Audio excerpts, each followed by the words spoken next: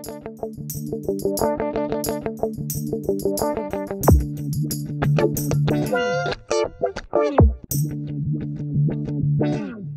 this podcast, we would like to present to you the most important new features in EDIUS 8.5. EDIUS now supports importing as well as the editing of H.265 HEVC material, as used, for example, by the Samsung NX1, the latest DJI drones, or the Panasonic GH5 camera, when using its 6K photo mode. Furthermore, EDIUS 8.5 accesses and incorporates more metadata from recorded material than previously. It is already possible since version 8.32 to see extended information for a lot of different camcorder formats in the clip's properties. Depending on the camera used, you can see information about the specified shutter speed, color temperature, shutter, color space, bit depth, camera model, and more. With EDIUS 8.5, metadata of recent Panasonic cameras, such as the GH5, AG UX90 and UX180 models is supported. With EDIUS 8.5, Grass Valley have also introduced a function that allows you to include a frame which is positioned at an out marker into the preview. This function was integrated since more and more Avid users are changing to EDIUS. In Avid Media Composer, the frame at the out marker is included in the preview. However, if you set an out point in EDIUS, the next frame will be displayed in the preview. If it is at the end of a film, a black frame will be displayed. However, this frame won't be included when exporting.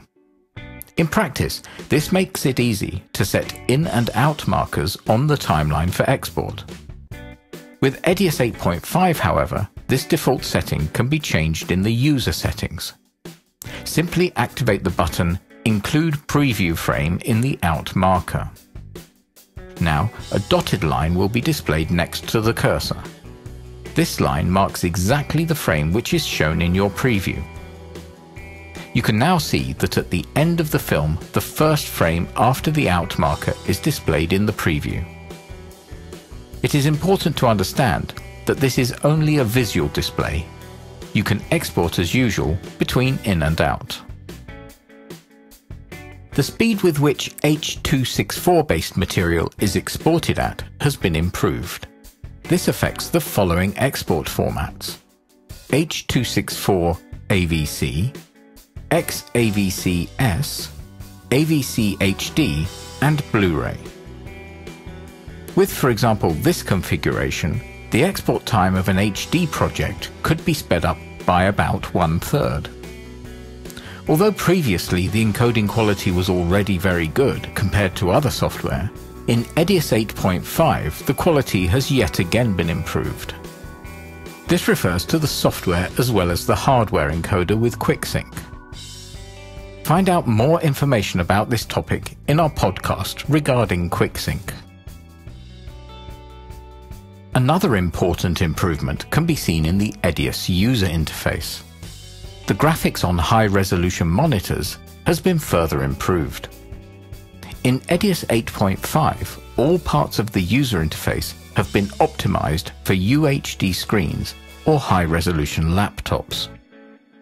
This also refers to the display in the quick titler, as well as those of the effect settings and the layouter.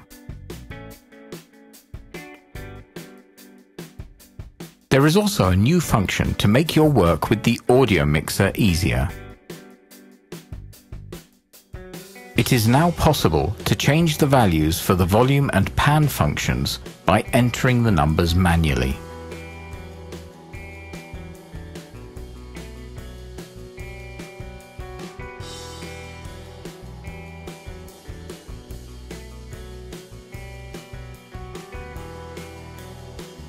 In some work situations, it is important to see the exact date and time of the recorded footage in the on-screen display. With Edius 8.5, this is now also possible for XAVC S clips. Be aware that the footage has to be imported via the Edius source browser. This way the folder structure is kept. This is important as the metadata is not written in the video clip but in an attached XML file. When the video clip is placed on the timeline, you can activate the source information in the user settings.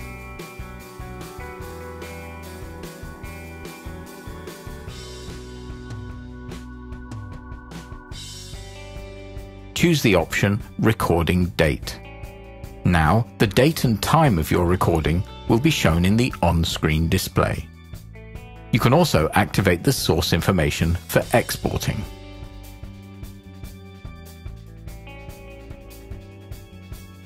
For images to appear as natural as possible, it is important to have extended contrast options. This extension is called High Dynamic Range, or HDR for short. With Edius 8.5, two new color spaces have been added. BT 2020 PQ and BT 2100 PQ. A new option was added to the primary color correction filter.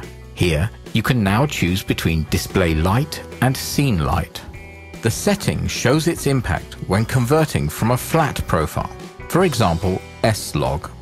Scene light refers to the default settings for the primary color correction before version 8.5. Display light, however, is the new default setting since version 8.5. Apart from an extended range of formats and metadata, Mync also has an important new feature. You can now export your storyboard as an XML list. Simply right-click on it and choose if you want to export the storyboard only as an XML file or if you want to include all the clips used in the storyboard. With this function, exchanging data between Mync and Edius on different computers has become much easier. The XML file can also be easily imported into other software which supports Final Cut Pro 7 XML.